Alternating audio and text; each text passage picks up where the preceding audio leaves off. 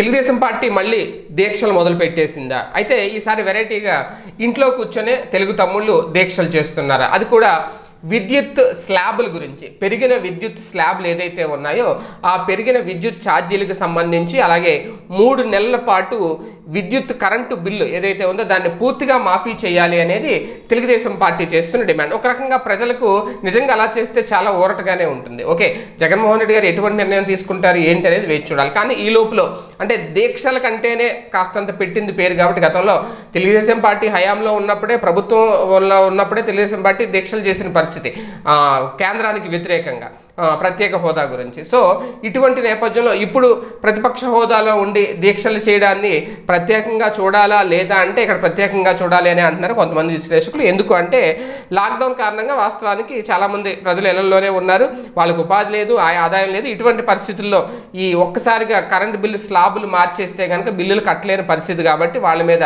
ఎందుకు అదనపు భారం మోపుతున్నారు అనే దాని మీద ఇప్పుడు దీక్షలు చేస్తున్నారు. నియోజకవర్గాల వారీగా మండలాలు డివిజన్ల వారీగా ప్రజాప్రతినిధులందరూ కూడా ఈ దీక్షలో పాల్గొంటున్నారు. పార్టీ నాయకులు కూడా. అయితే ఎవరికి వాళ్ళు దీక్షలు చేస్తున్నారు? ఇంతవరకు బాగానే ఉంది.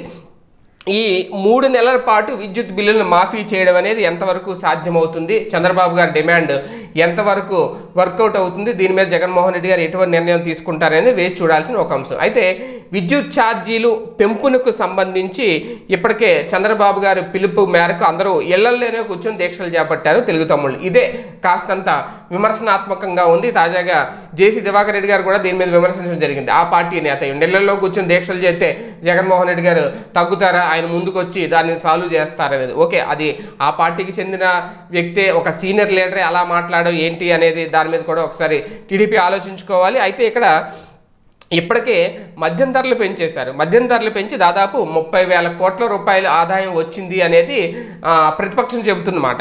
అలాగే డిస్కంలో కేంద్రం తొంభై వేల కోట్లు ఇచ్చింది. అలాంటప్పుడు ఇప్పుడు ఎందుకు విద్యుత్ బిల్లులు మాఫీ చేయలేరు అనేది ప్రధానంగా ప్రశ్నిస్తున్న ప్రశ్న. నిజంగా కేంద్రం డిస్కంకి తొంభై వేల కోట్ల ఇస్తే ఎందుకు మాఫీ చేయరు అనే ప్రశ్నకు వైసీపీ అన్న సమాధానం చెప్తుందా లేదా అని చూడాలి.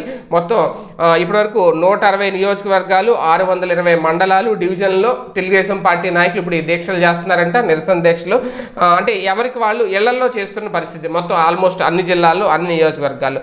దీనికి సంబంధించి కేంద్రం ఏమన్నా ఇందులో ఆల్రెడీ డిస్కమ్లకు సంబంధించి ప్రత్యేక నిధులు విడుదల చేసిందని కేంద్రం ఏమన్నా జోక్యం చేసుకుంటుందా? లేదంటే జగన్మోహన్ రెడ్డి గారు ఈ విద్యుత్ బిల్లులకు సంబంధించి ఒక కీలక ప్రకటన ఏమన్నా చేస్తారో చూడాలి? మొత్తం మీద దీన్ని అయితే ఒక ఆయుధంగా మలుచుకొని ఒక రాజకీయం చేయాలనే ఉద్దేశంతో తెలుగుదేశం పార్టీ నడుం బిగించింది అనేది వైసీపీ పరిశీలకుల అభిప్రాయం. ఈ వీడియో గనక మీకు నచ్చినట్లయితే లైక్ చేయండి షేర్ చేయండి. మరిన్ని వీడియోస్ కోసం మా ఛానల్ను సబ్స్క్రైబ్ చేయండి.